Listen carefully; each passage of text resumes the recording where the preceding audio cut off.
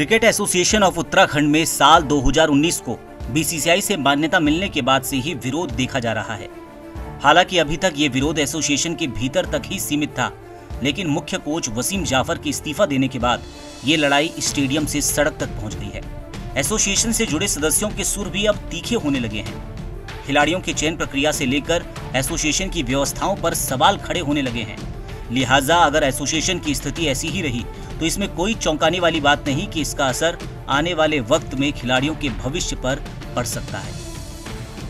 Cricket association of Uttarakhand की नींव रखने में अहम भूमिका निभाने वाले पूर्व कैबिनेट मंत्री और एसोसिएशन के सदस्य हीरा सिंह बिष्ट खुद काफ़ी मायूस हैं और नाराज़ भी। उन्होंने एसोसिएशन पर वन मैन शो और मनमानी करने का आरोप लगाया। ईटीवी भारत से बातचीत में हीरा सिंह बिष्ट ने कहा कि उत्तराखंड के भीतर क्रिकेट को बढ़ावा देने के लिए जो हो सका उन्होंने पहले किया और अब उसकी कमान नौजवानों के हाथ में सौंप दी है। लेकिन अब जो बातें सामने आ रही हैं, उन बातों से उन्हें काफ़ी तकलीफ़ हो रही है। बस मैं तो कुछ नहीं कह सकता।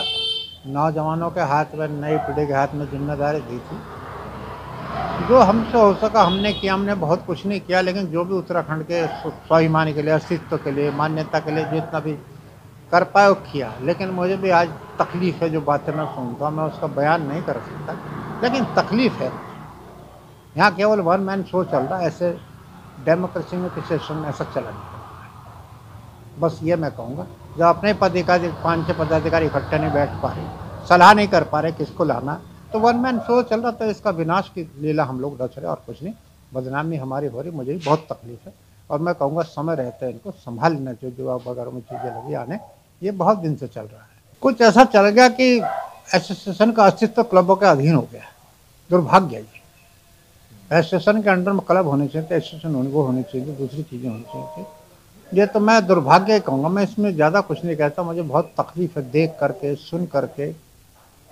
तो मैं समझता कौन सी घड़ी, कौन सी परिस्थिति में मान्यता मिली थी हमने, इतना इसको चालीस साल से आ रहे खड़ा किया इसको। मिल कर के सब लोगों ने तो अब नहीं संभाल पा रहे तो मैं अपनी कमी बताऊँ, मैं किसी को आरोप लगा रहा या तो हम वो संस्कार नहीं दे पाए, हम लोग, वो टीम नहीं दे पाए राज्य को जो चाहिए थी, या राज्य की टीम को एसोसिएशन को हाईजैक लोगों ने कर लिया। ऐसा लग रहा है हाईजैक कर लिया जो प्रोफेशनल है, जो ऑल इंडिया बदनाम है।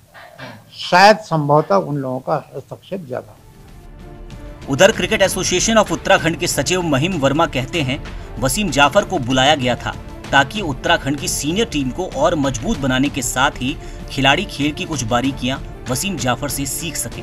लेकिन सिलेक्शन कमेटी और वसीम जाफ़र के बीच जो विवाद हुआ, वो सबके सामने है। इस विवाद को मैनेज करने की कोशिश भी की गई, लेकिन कोई नतीजा नहीं निकला। अब देखिए, जहाँ तक वसीम जाफ़र को है, मैं लाया बहुत अपने, लाया था यहाँ के उत्तराखंड के बेनिफिट के लिए।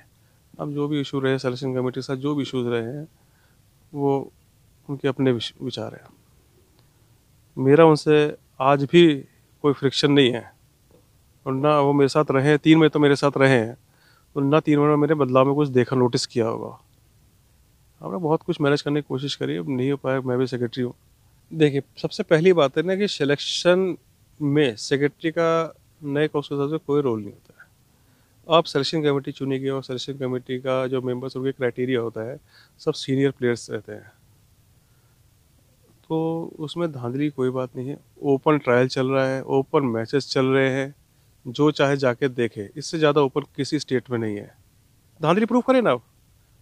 जो सदस्य आरोप लगा रहे कई सदस्य को मैंने ड्यूटी लगा रखा है, अगर आज मैं यहाँ हूँ और जहाँ ट्रायल चल रहा है, हर मैंने एफ़ एस के मेमोरी बिठा रखा है।